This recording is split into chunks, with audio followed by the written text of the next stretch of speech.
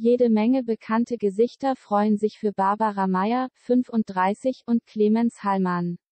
Die einstige GNTM-Gewinnerin hat tolle Neuigkeiten verkündet, sie ist erneut schwanger. Vor fast zwei Jahren wurden sie und ihr Mann bereits erstmals Eltern. Den Alltag mit ihrer Tochter Marie-Therese scheint die Beauty total zu genießen. Dass ihre kleine Familie nun auch noch wächst, macht sie richtig happy, wie sie im Netz betonte. Und auch ganz viele andere Promis freuen sich über Barbaras Babyglück.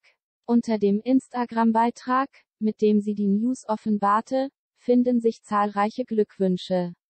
Unter anderem gratulierten dem Paar Promi-Expertin Frauke Ludowig 58 Influencer Riccardo Simonetti, 29 und auch Sylvie Mais 44.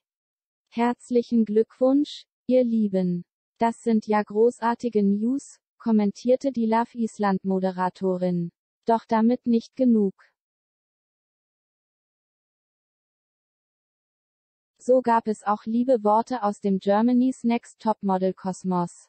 Jana Heinisch 28 schrieb beispielsweise, wie geil ist dieses Bild bitte, herzlichen Glückwunsch, und schwärmte zugleich von dem witzigen Verkündungsposting.